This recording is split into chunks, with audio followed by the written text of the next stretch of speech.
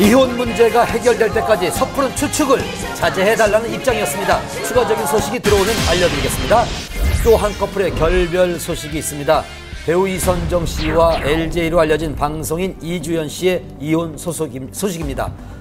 95년 김부용의 풍요 속의 빈곤 일대 만보걸로 데뷔하며 얼굴을 알렸던 이선정 씨는 이후 청춘 시트콤의 엉뚱한 매력에 카페 주인 역을 맡아 큰 인기를 누렸었습니다. 무엇보다 90년대 원조 글래머 스타로 팬들의 사랑을 받아왔었는데요. 지난해 매니저 출신의 방송인 이주연 씨와 열애 사실이 알려진 후 교제 두 달 만인 지난해 6월 말 혼인 신고를 마치고 본격적인 결혼 생활에 들어갔습니다.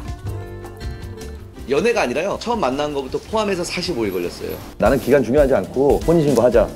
결국 이걸 사인하는데 갑자기 눈물이 막 나는 거예요. 이틀 동안은 진짜 굉장히 많이 울었어요. 초고속으로 결혼에 꼴이 나며 행복한 결혼 생활을 이어가는 듯 했던 이 부부의 결별 이유는 무엇이었을까요? 워낙 두 사람이 교제 기간이 짧았고 급하게 결혼한 감이 없잖아 있었던 것 같습니다. 두 사람이 맞춰가는 도중에 서로 맞지 않는 부분을 인지하게 됐고 작년 10월에 이혼한 것으로 전해졌습니다.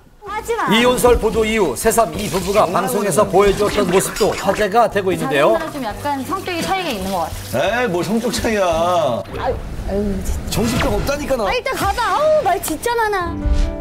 이주연 씨는 지난 7월 SNS를 통해 이혼을 암시하는 의미심장한 글을 게시하기도 했습니다. 현재 두 사람 모두 일체 외부와의 연락을 끊은 상태입니다. 전원이 꺼져 있어 음성사서음으로 연결되며 이혼 사실이 알려지면서 이혼 후에도 두 사람이 방송에 부부로 출연한 것이 아니냐는 의문도 제기되고 10월에 있습니다. 이혼했다는 얘기도 나오고 있는데요.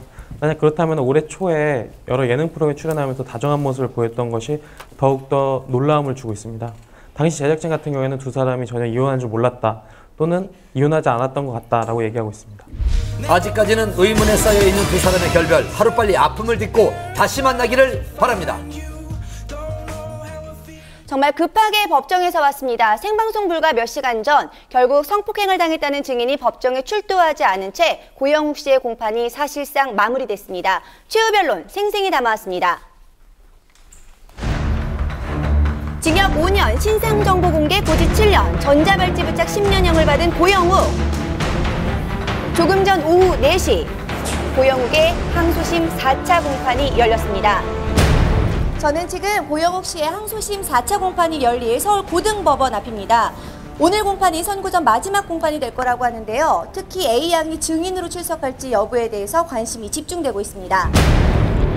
항소심에서 고영욱은 3명의 피해자 중 2사람에 대한 성추행 사실만 인정했고 A양에 대해서는 주고받은 문자 메시지를 증거로 제출하며 혐의를 부인했습니다.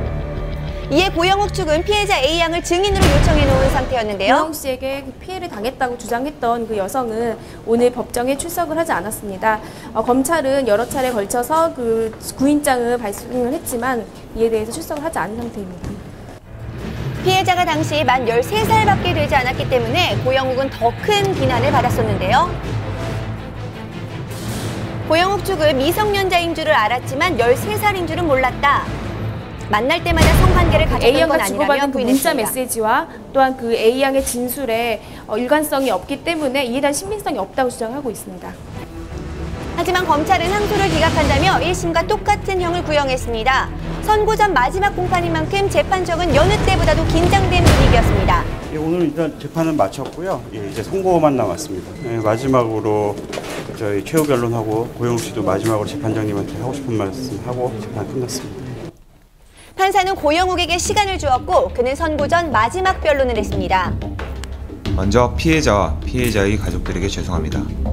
8개월의 소감 생활 동안 경솔함을 깊이 뉘우쳤습니다.